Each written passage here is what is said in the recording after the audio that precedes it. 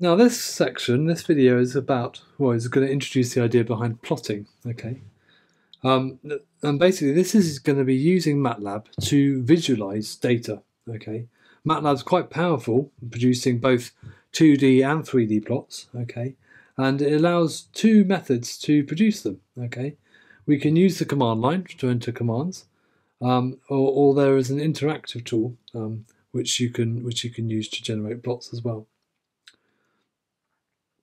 Um, but we're gonna and, and in this but in these uh, in this um, in these notes and in this uh, in this module, uh, we're going to concentrate primarily on the more standard method, which is using commands. Okay, because that really sort of helps us understand what's going on. And uh, we're going to focus also on 2D plots. 3D plots are, um, you know, they're, they're, obviously more complicated. Um, they're beyond the scope of this module at this point in time. But I'll show you a few 3D plots later on as uh, sort of demonstrations of what um, MATLAB can do. Now, these sorts of plots, they obviously they you know they um they are useful to include in things like reports and such and so on and so forth. And so, what you can do with these plots is you can export them as a as a, um, a PDF document or JPEG or whatever for you to paste into uh, you know a Word document to make a report or or uh, some other package that you use to write write things. Okay. Now the the um the commands I'm going to do, I'm going to enter them in in the command window um, but clearly, you can also include them in a script if you want to rerun the same sort of commands. Um, and I might do a bit of both um, as we as we work through these things. So let's uh, let's let's do it in the command window to start with. So I'm going to close that up. Okay, there's my command window, and I'll clear the screen so we've got something clear. Um, clear, and I'm also going to clear all our data. Okay, so there we go. So we're going to start from start from scratch. And let's think about um, what we do to plot. Now, obviously, when we're when we're looking at data, obviously there's generally going to be two dimensions. You know, you're going to plot one thing against another, and the typical example would be plotting x against y, where y is a function of x and x is your independent variable. Okay, and they're, they're and these in MATLAB these would normally be vectors containing um, x and y coordinates of, of the data to be plotted. Now let's think firstly about a straight line plot. A straight line, we know the, the equation for straight line is y equals mx plus c, where m is the slope and c is the y-intercept. So we're going to do um, a very simple plot.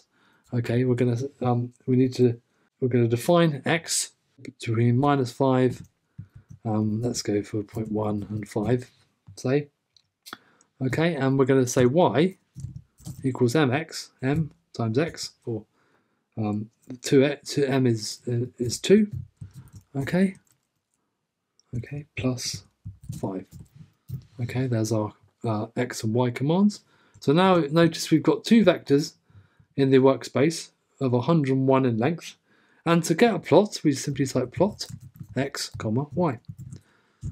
Okay, and it'll bring up a new window with a plot in of our straight line.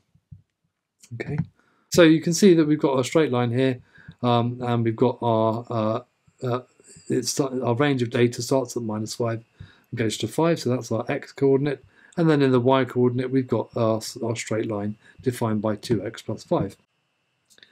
And so you can see um, there's our x data, minus 5 and 5, with an increment of 0.1, which is the independent uh, variable. Okay, um, And then uh, we've got our uh, vector containing y, which is obviously um, going to be the y-axis, and then um, you plot, run the plot command, okay, which obviously plots this window. Now, so how work out what's going on, it's often useful to actually turn the grid on. So we just type grid on, okay, and then if we go back to the window, you can see we've now got a little grid in the background. So we can actually look at what, you know, where, where's the y-intercept? There's clearly 5 here. Okay, and the slope, which is rise over run, so we go up 5 in a distance of uh, 2.5. So we can see that quite clearly that our slope is, is going to be 2. Okay, so you should have something um, looks like this if you run those commands. Now let's try um, a parabola. Okay, so I'm going to go back and I'm going to redefine y. I'm going to keep the range of x to be the same, but I'm going to redefine y. I'm going to call it x um, squared minus 5. Let's go for that one, shall we? Okay, so I could put the dot in to um, do piecewise um, uh, squaring, okay, which we need to do, otherwise we're just squaring a vector. Um, and then we're going to rerun the plot command, okay. So again, there we are with our plot, and I'll turn the grid back on, okay. And um, there's our parabola, okay. So you can see we so we didn't we have to redefine x. We've got the same range from minus five to five, but now our plot, our y data, is now following a different equation. It's following the x squared minus five term. So clearly, when x is zero, we're going to have a value of minus five, which is down here. Okay, and obviously it's a vertical parabola or sort of upright parabola because x, the coefficient in front of the x squared term, is positive. Okay, and um, and uh, yeah, and we needed to place a full stop ahead of this, but because we're um we square we wanted to do a piecewise squaring of each value of x rather than squaring the vector as a as a separate thing. Okay.